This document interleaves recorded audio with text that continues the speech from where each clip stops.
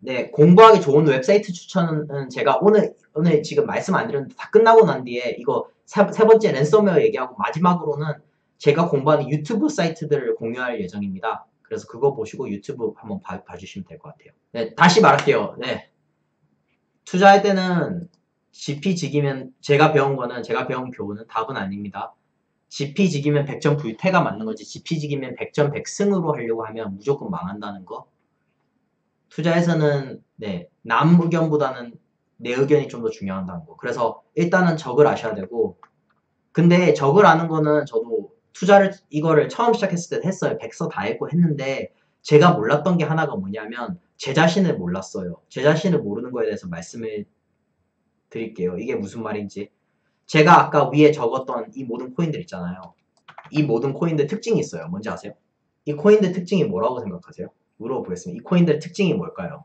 공통점. 이 코인들의 공통점이 뭘까요? 이 코인들의 단 공통점이 있다면 제가 지금까지 투자한 코인들은 Steem 그러니까 지금 가 들고 있는 코인들은요. Steemit은 어떻게 할 수 없어요. 물이 건너갔어요. Decent 이 두 개를 제외하고는 이 두 가지를 제외하고는 다 장기적 가능성이 큰 코인들입니다. 네, 기본이 좀 탄탄해요. 그래서 저 나름대로는 가장 보수적인 포트폴리오를 짜기 위해서 짰어요. 여기서 더 보수적으로 짤 수도 있어요. 여기서 더 보수적으로 짜면 Steemit Decent 다 팔아버리고 Florin 다 팔아버리고 Golem Storj코인 다 팔아버리고 비트코인 이더리움 Factom만 들고 있을 수도 있어요. 그게 특징이에요. 네. 그러니까 제가 말씀, 저가 처음에 시작을 했을 때는 3개월 동안 이 컴퓨터에서 움직이지 않고 아직도 기억이 나는데 서울의 친구 이제 국민대 쪽에 친구가 학교를 다니고 있어가지고 국민대를 가서 PC방이 있는데 그 첫째 날에 친구 보고 아 야 나 뭐 이더리움에 700만 원 넣었어. 근데 이거 지금 2만 원 이거 뭐 내가 14,000원에 샀다. 근데 이거 2만 원 됐다. 이렇게 좋아했거든요. 그 다음날 PC방 똑같은 시간에 갔는데 다 해킹이 터졌어요.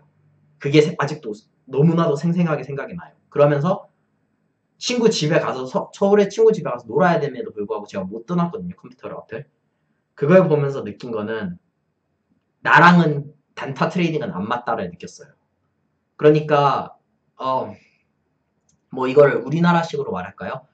내가 서울대, 고려대, 연세대를 들어가는 게 중요한 게 아니라 이게 아니라 뭐 우리나라에서 좀 상상하기 힘들 수 있는데 나한테 맞는 대학을 찾아서 들어가는 게 중요한 것처럼 내가 비트코인 뭐 이 코인들 중에서 제일 대박 칠 코인을 찾아서 들어가는 게 중요한 게 아니고 나 내 성격에 맞는 코인에 들어가야 돼요. 예를 들어서 내 성격이 막 순발력도 떨어지고 사람들보다 좀 느려요.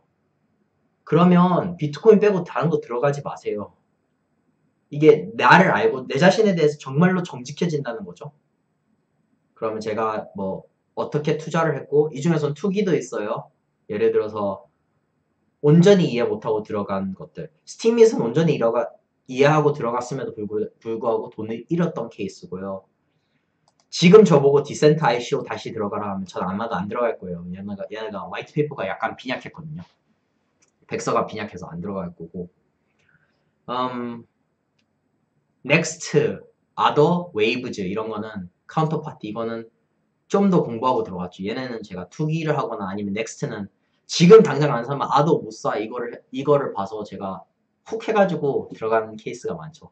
그리고 처음에 말씀드렸듯이 이더리움을 한 2000 이더리움 이상을 들고 있었던 적이 있는데 그때 제가 이더리움 들고 있었던 건 2개에 가까웠죠. 왜냐하면 이더리움 가격이 2만 불, 2만 원에서 4천 원, 5천 원으로 떨어졌을 때 제가 들고 있지를 못했거든요. 왜냐하면 이성적으로 알고 있는 게, 그러니까 지식으로 알고 있는 게 많아야지 이 코인의 가능성을 가늠할 수 있는데 알고 있는 게 없, 으니까 떨어졌을 때 그래프만 보고 팔았어요.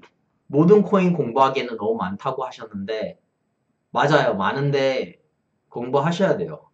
다 아실 필요는 없어요. 저희가 저희가 몇 개는 도와드릴 테고 그냥 일단 당장 말씀드릴 수 있는 거는 어떤 분은 저한테 이거 지금 방송 보고 계실지 모르겠지만 저한테 스텔라에 투자를 하셨대요.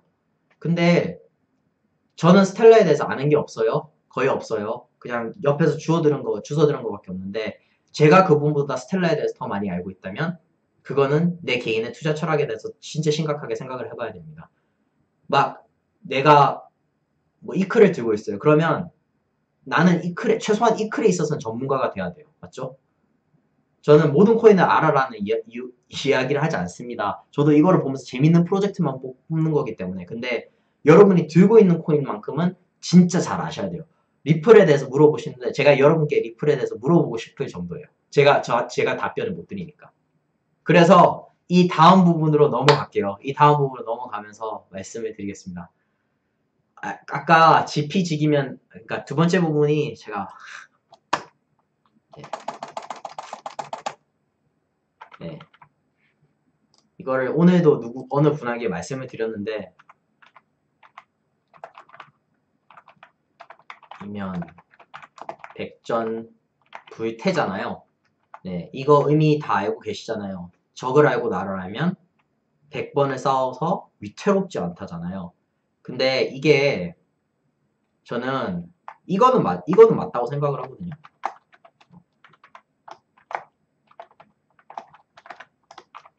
이거는 맞는데 많은 분들이 투자에서 잘못 생각하고 계시는 게 GP 직이면 백전 백승을 생각하고 계시는 것 같아요. 네, 박동현님 어머니가 현대코인 투자하시면 뜯어 말리세요. 아니면 조금만 투자하시라고 하세요. 네, 하지 마세요. 하지 마세요. 그냥 하지 마세요. 듣도 보도 못한 건데 백서 나오면 믿을게요. 백서 나오면.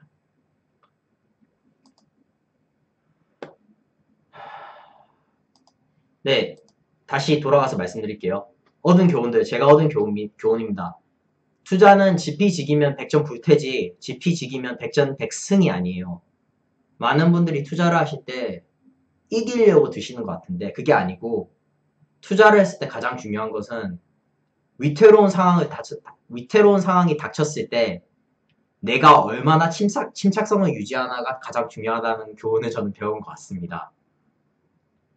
음, 그럼 물어보시겠죠? 아니, 시은 청년, 근데 위태로운 상황이 닥쳤을 때 침착, 침착함을 어떻게 유지를 해? 침착함을 유지하는 방법은 아까 말했죠. 지피지기. 그러니까 적을 알고 나를 아는 거. 이거 두 가지만 되면 된다고 저는 전제 조건이 이거 두 개라고 생각을 해요. 금방 코인에 대해서 코인 뒷조사나 이런 거에 대해서 많이 많이 말씀드렸잖아요. 근데 이거는 적을 아는 거예요. 맞죠? 코인에 대해서 공부하는 거. 음, 코인을 공부하면 공부 이거는 뒷조사는 어떤 코인인지 지금 영훈이가 참 잘하고 있고 영훈이 영훈이가 저, 저는 부러운 게 걔가 비트코인을 400에 들어갔을 거예요. 걔는 그리고 또 채굴도 하고 있으니까 걔가 비트코인을 400에 들어가서 지금 1800이잖아요. 그러면 어 4배 이상 불렸는데 이게 탄탄하단 말이에요. 그리고 웬만하게 떨어져서는 얘는 괜찮을 거란 말이에요. 그래서 그게 이제 적을 아는 것 같아요. 이 코인 시장 이게 얼마나 올라가고 내려가고 그리고 이 코인이 얼마나 가능성이 있, 고 없고 그걸 알아야지만 그래프와 숫자를 보지 않고 진짜 이거의 미래, 이거의 가능성, 거기에 있는 사람들, 이 사람들이 어떻게 일을 하는가, 회사에 대한 뒷조사까지 모든 것을 철저히 해야지만 할 수 있다고 생각을 합니다.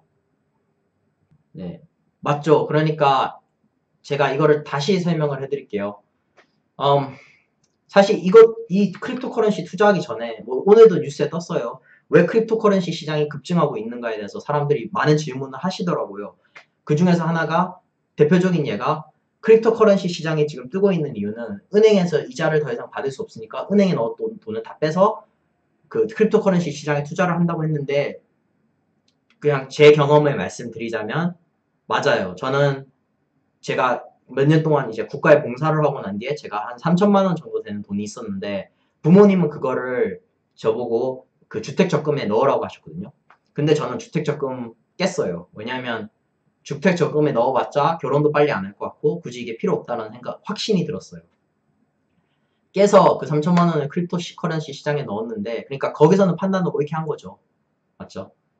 어 그런데 그 다음에 이제 투자에 대해서 배우다 보니까 이런 게 있는 거예요. 제가 예를 들자면 내가 한 달에 걱정 안 하고 살 수 있는 금액이 얼마인가? 그러면 한 달에 그 금액이 나오죠. 저는 그 금액이 되게 쓰- 싸요. 왜냐면 유지 비용이 별로 안 들어서. 그래서 저는 그 금액, 금액이 200만 원이에요. 한 달에 필요한 금액이. 가, 가족이 없으니까 그러겠죠. 그럼 200만 원 곱하기 11을 해요. 그러면 2,400, 2,400만 원이 나오죠. 그러면 10년, 그러니까 10년 동안 내가 아무런 프로젝트나 진행을 할 때 200만 원이라는 그 약간 든든한 백이 있다라고 생각을 했을 때 그러면 2,400 곱하기 10을 하잖아요. 10년을. 그러면 2억 4천이라는 돈이 나오더라고요. 그래서 제가 생각한 거는 더도 아니고 덜도 아니고 그냥 내 자산 2억 4천으로 만들자. 그것까지만 생각을 했어요. 그러니까 내 자신을 아는 게 중요하다는 게 많은 분들이 연락 오셔가지고 저기 이거 전망이 어디까지 있어 보이나요? 근데 제가 물어보고 싶은 거는 여러분 얼마나 부자 되고 싶으세요? 한도 끝도 없이 부자 되고 싶으세요? 그거는 정확하지 않아요. 100만 장자, 억만 장- 장자, 500만 장자, 600만 장자 정확히 얼마까지가 목표인지를 알, 알면 아까 막 여러 가지 말했잖아요.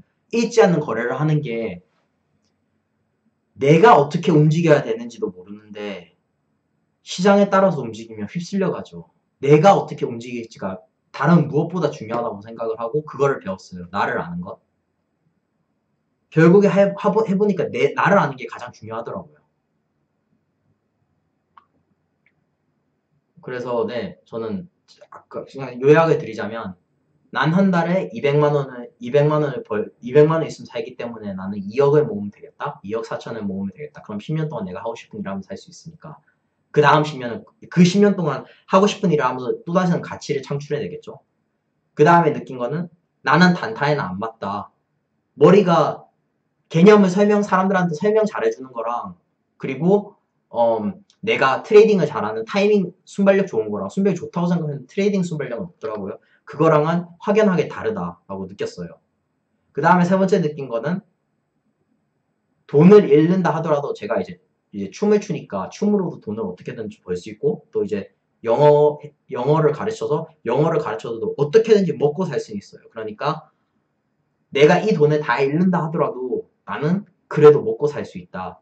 그래서 뭐 솔직히 말씀드리자면 지난 1년간 창업을 하면서 한 달에 꾸준히 들어온 수입이 그러니까 이, 이, 이 투자한 돈은 안 빼요. 안 빼는데 꾸준히 들어온 수익이 영어 과외에서 한 달에 50만 원 밖에 안 됐어요. 그래서 근데 한 달에 50만 원도 아끼고 아끼고 아끼면서 살면 괜찮더라고요. 근데 저는 생각하는 게 뭐 제 친구들 같이 뭐 뭐 좋은 집에서 살고 살고 싶고 뭐 차도 좋은 차 몰고 싶고 막 놀 때 놀고 싶고 술도 마시고 싶고 누가 안 그러겠어요? 하지만 제가 그리는 미래는 제 친구들 제 친구들이 그리는 미래하고 다른 걸요. 뭐. 저는 제가 지금 서, 서른 살이에요. 올해 서른 살인데 마흔 살이 됐을 때가 마흔 살이 됐을 때 그때 이제 조금이라도 못 부려보고 부모님이 멋있는 멋을 아시는 분들이 아니세요. 그냥 저한테 항상 이제 지식 지식에 투자하라고 가르치시는 분들인데 저는 그거에 따라서 그냥 꾸준히 여기 지식에 투자하고 있어요. 이게 가장 맞는 거라고 생각하기 때문에 이걸로 블록체인 산업에서 먹고 살 수 있을 것 같고 그리고 내 자신 알다 보니까 제가 좀 능동적인 사람인데 수동적으로 컴퓨터 앞에 앉아서 그래프를 올라가는 거 내려가는 거 보는 게 너무 싫더라고요. 그래서 수동적으로 이걸 손을 보고 싶다 해서 지금 다시 프로그래밍을 공부하고 있고 그래서 어쨌든 핵심은 나이가 어떻게 되는지 제가 나이가 젊으니까 그런 소리 할 수 있다 이렇게 하- 말씀하실 수도 있는데 나이에 맞는 투자 전략이 있고 내 자신의 내 가족과 내 상황에 맞는 투자 전략이 있다고 생각을 하거든요. 그거를 빨리 파악하는 것, 그러니까 나를 알고 그 다음에 나에 맞는 코인들을 공부하면서 말씀드렸잖아요. Florin코인은 지난주에 알게 됐다고. 코인들을 공부하면서 거기서 알게 되는 것. 그리고 그거를 알면 네, 위기 상황에 제가 어떻게 대처를 해야 될지 답이 나온다고 생각을 합니다. 아, 네. 이게 잔소리처럼 됐네요. 아, 네, 반갑, 반갑습니다. 강찬식님. 네, 랜섬웨어가 BTC 얘기 한번 해볼게요. 음, 저 그 저번에 보셨던 분은 보셨을 건데 이제 진우라는 제 이제 이거 평가 아 뭐지 진우라고 친구 중에서 한 명이 이 여- 영상을 편집해요. 그래 그 친구가 저 저보고 오늘 랜섬웨어에 대해서 얘기해달라고 했는데, 음, 랜섬웨어를 보고 난 뒤에 매우 부정적인 이 오늘 특별히 해서 부정적인 시선이 많은데, 음, 다르게 말씀을 드려볼게요. 오늘 이전에도 랜섬웨어 많았잖아요. 맞죠? 랜섬웨어 전 주변에 걸리신 분들 뭐 의료계 쪽이시나 걸리신 분들이 꽤 많은데 랜섬웨어 다 걸리셨는데 왜 그때는 뉴스에 안 떴죠? 그저 그 되게 궁금해요. 혹시 답변 아세요? 답 아시는 분 계세요? 왜 랜섬웨어가 오늘 각광을 받았죠? 한번 의심 의심해 보셨나요? 전 그러니까 약간 의구심을 가지게 만드는 건데 비트코인 가격이 올라가니까 랜섬웨어라는 이슈가 핫해졌다.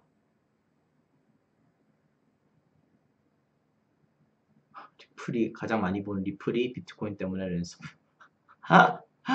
아, 그러니까 그러니까 이게 여- 그러니까 뉴스는 그 뉴스가 다 신뢰가 안 된다는 건 아니지만 옛날에는 그런 말 했잖아요.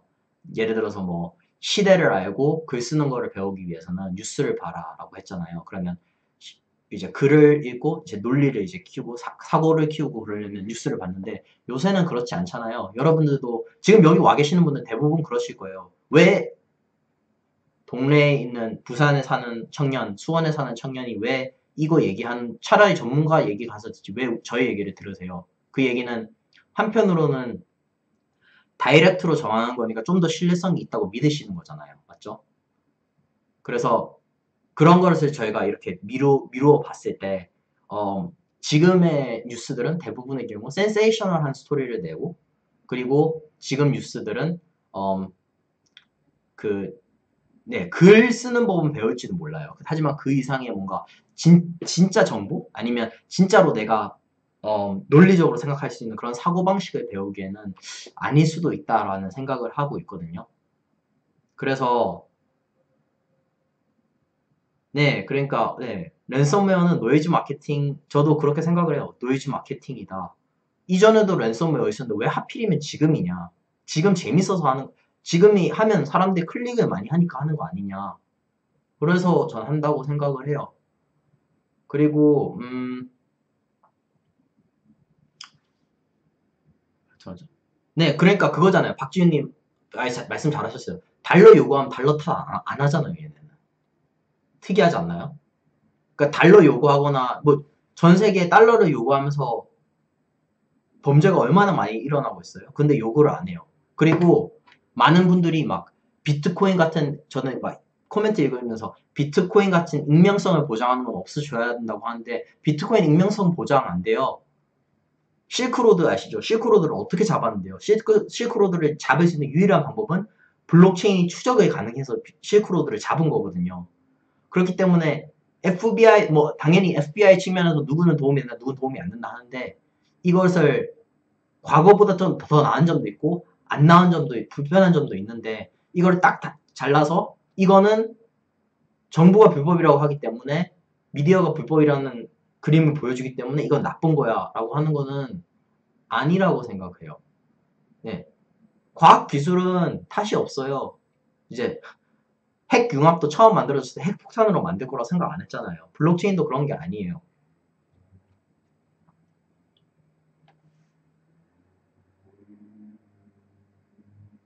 물론 네 비트코인이 사용되기 전에는 랜섬웨어를 했다 하더라도 프로그램을 잡 프로그램을 안, 못 돌리게 하고 난 뒤에 돈을 요구할 수는 없었죠. 그리고 그게 중앙 컴퓨터 이제 은행 중앙 전산망을 통과할 때 은행이 차단할 수 있었으니까. 근데 비트코인이 그 방법을 하나 만들어 준 거거든요. 근데 뭐 제가 다르게 살 다르게 물어보면 그럼 뭐 이런 표현이 좀 그런데 아동 납치를 전화기 없을 때는 아동 납치 유아 아동 납치를 어떻게 했나요? 그런 거랑 약간 비슷한 것 같은데.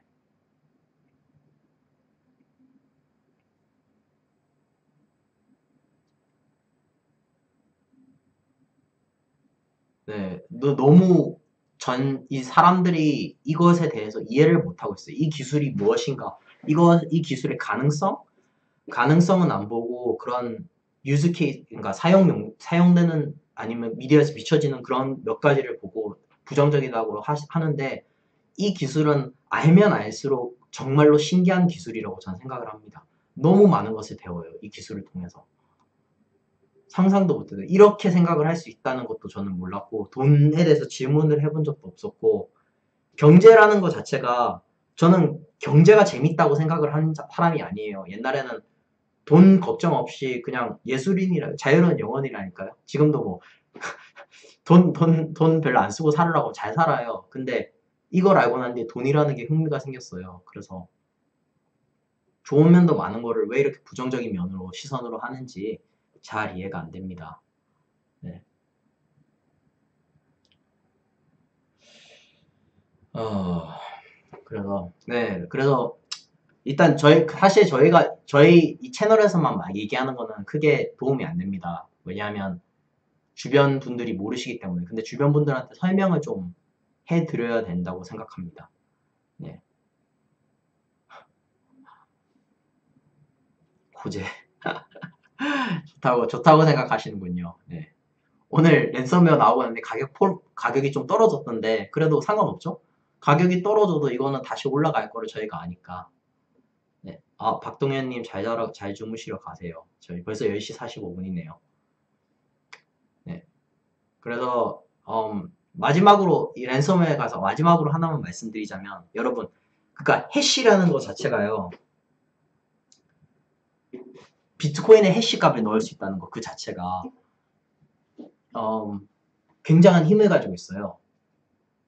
예를 들어서 어, 아 이거 좀 며칠 이후에 이거 보여드리고 싶었는데 그냥 우리 지금 지갑 있잖아요. private key 그게 아니고 이거를 사이퍼펑크라고 그 아나키스트 반정부주의자들이 만든 거기 때문에 이거를 가지고 암호화할 수 있는 방법이 너무나도 다양한데 어, 대표적인 어, 대표적인 예가 있으면 어, 어, 이런 거예요. 음, 저 요즘 저는 LP판을 좋아해서 LP판을 수집을 합니다. 근데 LP판에 이제 그루브라고 하죠. LP판이 원래 이렇게 이 홈을 파잖아요. 그러면 홈을 판 거를 바늘이 이렇게 긁으면서 읽는 거잖아요. 근데 이걸 어떻게 하냐면 여기에다 음악을 입히는데 홈을 파가지고 이 바늘이 돌기 시작하면 LP판 위에다가 QR코드가 보이도록 할 수 있어요. 그러니까 일반적으로는 LP판에 QR코드가 안 보이는데 이 LP판을 뭐 12인치라고 하면 45rpm으로 돌리면 이게 돌기 시작하고 위에 QR코드가 떠서 그거를 폰으로 찍으면 그, 그게 private key예요. 그런 식으로 이거를 암호화 시킬 수도 있는데 아니면 특정 이모티콘들을 컴퓨터 이모티콘이 있죠. 이모티콘들을 가지고 해시를 해가지고 이게 private key가 될 수도 있어요. 이해되셨나요? 기존의 돈은 아 제가 저는 화폐를 안 써서 그런데 화폐 그냥 카드로 다 긁는데 기존의 천 원짜리 같은 경우는 천 원짜리를 쓰면 제가 하는 말은 제가 표현하고자 하는 바는 저는 대한민국 국민입니다. 저는 대한민국 어, 한국은행을 신뢰합니다. 이런 말을 하는데 비트코인은 그 정도가 아니에요.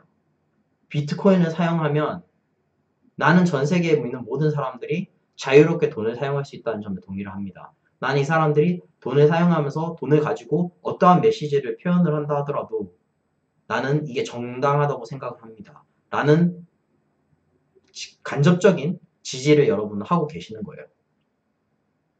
너무 이상적인 얘기인가요?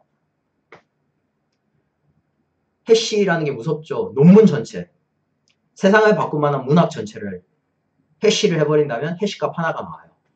그럼 그거를 또다시 비트코인과 함께 비트코인 가격 뭐 500 비트코인과 함께 해시를 해요. 그걸 하면서 뭐 그런 말을 할 수 있겠죠. 이 논문은 500 비트코인만큼의 값어치가 있다. 신기하지 않나요? 이거 옛날에는 불가능했는데. 그리고 이거를 private key, private 어뭐 그러니까 public 주소에 그냥 하나에 넣어놓고 네, 이 책을 사용, 이 논문을 읽는 사람, 이 논문을 읽고 공부하는 사람이 이 여기서 암호를 다시 풀어서 500 비트코인을 가져가서 또 그런 논문을 쓰도록 할 수도 있고 진짜 달라요.